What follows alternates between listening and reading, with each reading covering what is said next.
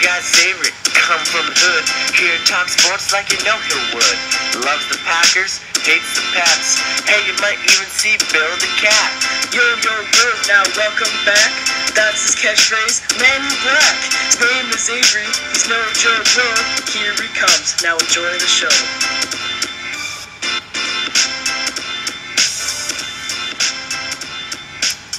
What is up? What is up? What is up? Welcome.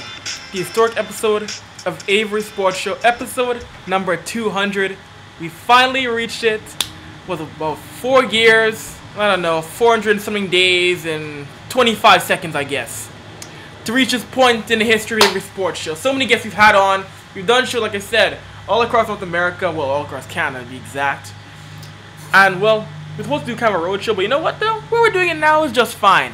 We Got some guests stopping on by the place here. Should be a blast and get some special guests calling into the program. You can be a part of this as always. Call in 780-628-1771 extension code 260. So I'm gonna look back on Avry Sports Show history. We're probably gonna play the first ever episode of Avry Sports Show. It's a two-hour show. We're going from one to three, and this will re-air at 6 p.m. I want to do. Why are we on a little bit earlier?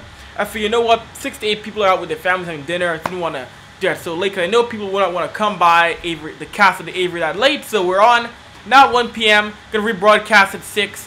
Fantastic stuff, Avry Sports Show, episode number 200. But of course, as always, we're gonna talk about the sports world though. We're gonna talk about uh, the All Star games, the home and the home run derby. Robinson Cano, sir, you're defending champion, and you put up a goose egg with the Kansas City Royal fans just on you, doggy. I mean, that gas got sucked for Robinson Cano because, of course, the Kansas City Royal fans are mad that their hometown boy, Billy Butler, did not make the All Star game. So, I mean, home run derby. He was not picked for the home run derby. So, fans are just giving it to Robinson Cano the entire derby. And Bud Selig, he was mad at what happened. He was not happy what was going on with that. Fans booing. Then again, Bud Selig is the same guy who went out yesterday and honestly said that fans do not want more replay.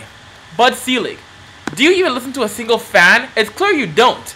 Because when you say that no one wants any more instant replay, you don't even care at all. Fans telling you one thing, and you're thinking about what you're, gonna have for lunch. Now, honestly, man, fans that want more instant replay, who are the what fans are you listening to? Fans like in the 1860s? Clearly, that is just too silly. Absolute garbage out of Bud Selig's mouth.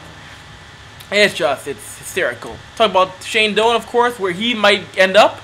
Everybody's saying, you know, he could resign as Phoenix, but of course the Phoenix Coyotes are in such an odd situation.